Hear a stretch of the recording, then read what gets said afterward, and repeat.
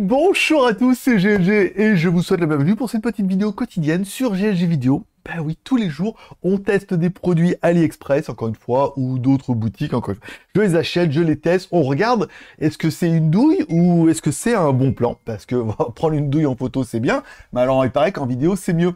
alors débridez-vous et découvrons un petit peu cette carte Lenovo 32Go à 4 euros sur AliExpress, à savoir qu'elle est en promo pendant un moment à 2,50€. Là, ça m'a paru quand même un peu louche. Et on verra que... Il y a une bonne louche, ouais. Allez, aujourd'hui, aujourd'hui, aujourd'hui, je vous propose cette carte. Alors, premier truc qui m'a dit, alors déjà, qu'elle est en promo à 2,50€, hors taxe, nanana. Alors, moi, j'habite en Asie, donc du coup, je paye hors taxe, c'est un 2,50€ pour 32 Go, c'est pas cher. Après, petite chose qui devrait quand même vous mettre la puce à l'oreille, c'est que vous pouvez avoir 32 Go pour 4 euros. C'est cohérent. Toi, c'est à peu près dans le prix de la mémoire pas chère, on est bien. Par contre, la 64 Go, 5 euros. 1 euro de plus.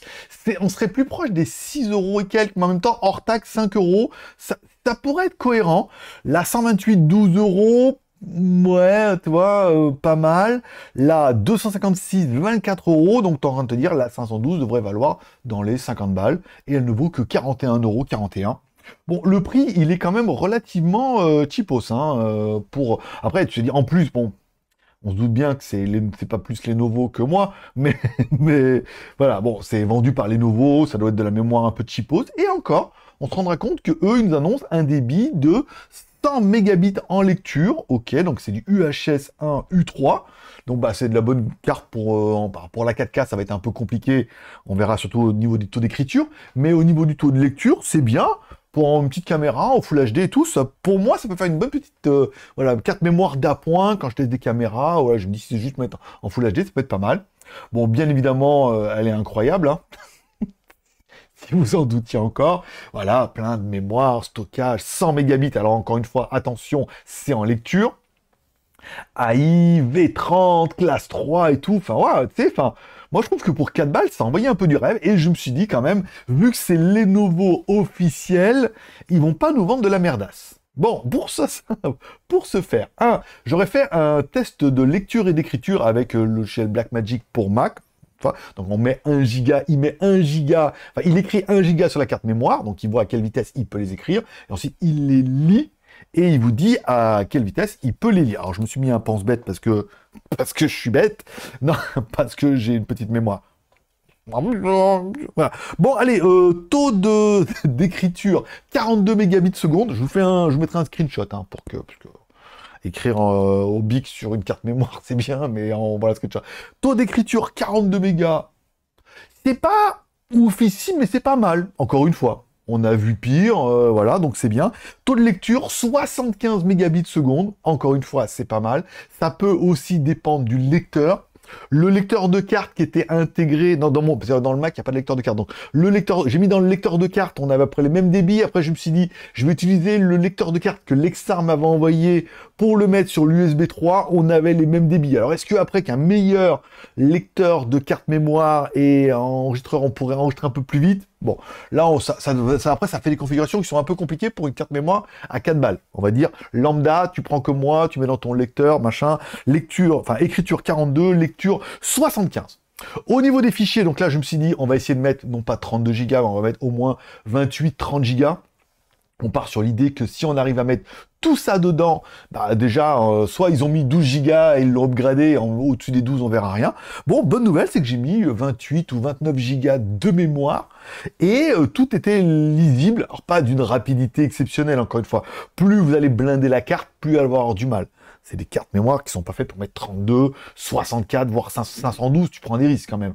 Donc, en mettant 30 gigas de vidéos comme ça, nanana, je me suis rendu compte que j'arrivais à tout voir. Enfin, les lectures, c'est quand je lançais les vidéos, c'était un peu long parfois, parce qu'il faut le temps d'accéder à la carte mémoire, lire le fichier, nanana, il y a beaucoup de trucs dedans et tout, mais ça a le mérite de fonctionner. Alors, si on devait dire douille ou pas douille, bon, déjà, euh, Lenovo, bon, c'est bien, c'est une carte mémoire Lenovo et tout, ça a l'air officiel et tout, c'est bien, c'est propre. Au niveau de ce qui nous est annoncé, bah, si on prend les 42, 75 plus 42, on est bien à 100. Non, mais voilà, l'écriture, ils nous annoncent 100 mégabits. Non, je crois que c'est même en lecture. Ouais, lecture, nous annoncent 100 mégabits, on est à 75. ça me paraît pas délirant, encore une fois. Il y a toujours marqué dans une petite ligne en chinois que il y a une variation en fonction de plein, de paramètres et tout. La carte mémoire, je l'ai bien utilisée. Je vous juste remis le petit capot là pour que ça fasse un peu joli neuf, mais je l'ai vraiment utilisé pour de vrai. Non, mais comment tu vas l'avoir utilisé si la carte elle est encore neuve? Parce qu'elle est pas neuve et Voilà, ok. J'anticipe. On a des champions. on a des champions. Ne rigole pas. Ne rigole pas. Il faut... Euh, la communauté qu'on mérite. Euh... Donc, lecture, bon, pas mal, encore une fois, 75 mégabits. Écriture, 42 mégabits, c'est bien aussi. C'est une Lenovo, c'est joli, elle fonctionne. On peut mettre 32 gigas dedans, même si, encore une fois, je vous déconseille de mettre autant de mémoire, surtout si c'est des trucs importants dans ce genre de carte mémoire à chipos encore plus 64, 128, 512. Faut vraiment que ça soit soit une carte de dépannage, mais on va dire que la 32 à 4 euros, vous pouvez la mettre dans votre panier. Donc du coup, quand il y aura une promotion, vous recevrez une notification. Et c'est clair qu'à 2,50 euros, 3 euros, bon, t'as quand même la sensation d'avoir une carte Lenovo qui fonctionne bien. Voilà. T'as la sensation de sécurité quali, et c'est vrai que j'ai eu plus de mal, j'ai eu plus de problèmes avec d'autres cartes mémoire, par exemple les SanDisk qui venaient à décéder au bout d'un moment. Donc autant acheter des cartes un peu cheapos comme ça, et c'est plutôt pas mal. Voilà.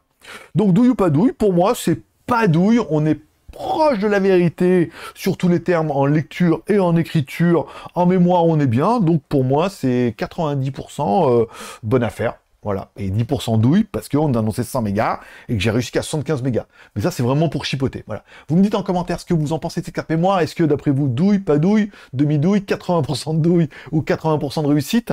Vous mettez ça dans les commentaires, encore une fois. Comme tous les pouces sont permis, t'as mis la vidéo pouce en l'air, t'as pas mis la vidéo pouce en bas. Ça, c'est un peu toi qui vois. N'oublie pas de t'abonner en cliquant à droite là-bas. Plus il y aura d'abonnés, plus il y aura de vues, plus j'aurai de budget pour acheter des trucs. Là, pour l'instant, voilà, j'achète de temps en temps un truc à 20, 30 balles, 4 balles et tout pour meubler un peu la chaîne, mais je vous promets que si la chaîne prend, il y a une partie du budget de la YouTube Monnaie qui sera dédiée à l'achat. Donc plus je gagne, plus j'achèterai des trucs euh, bizarres. Et il y en a sur AliExpress. Allez, prenez soin de vous, on se donne rendez-vous demain. Moi, forcément, je vous kiffe. Pouce en l'air, abonnement, tout ça, tout ça. Tu connais un peu le rituel? À demain, bye bye.